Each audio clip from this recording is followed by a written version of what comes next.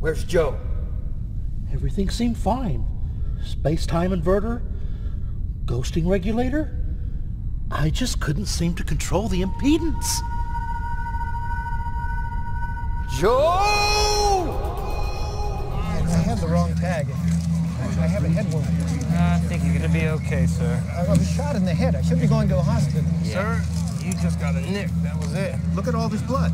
Yeah, well, that's the thing about head wounds, is sometimes they look a lot worse than they actually are.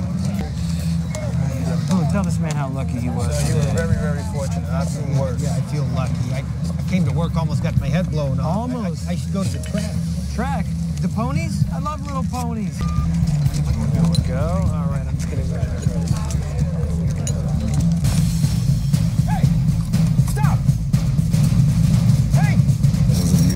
Heart just soared. It was as if I was free already at that moment. Time slowed down. It literally slowed down. It was like one of those Matrix shows. It's transferred Officer Jones. We've had an escape. The call went out that the transport van had the prisoner escape out the back door.